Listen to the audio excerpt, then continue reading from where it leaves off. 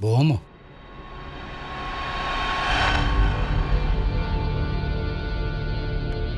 Keskin sirke küpüne zararı ol.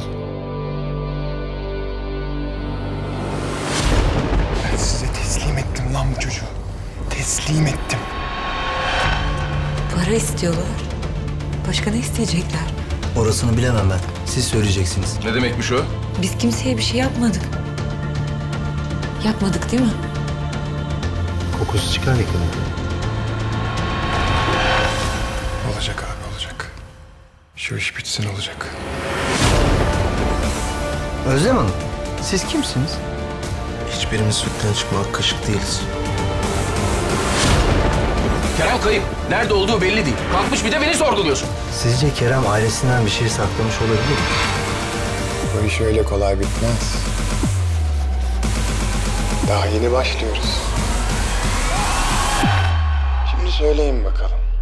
Onun için neleri feda edersiniz?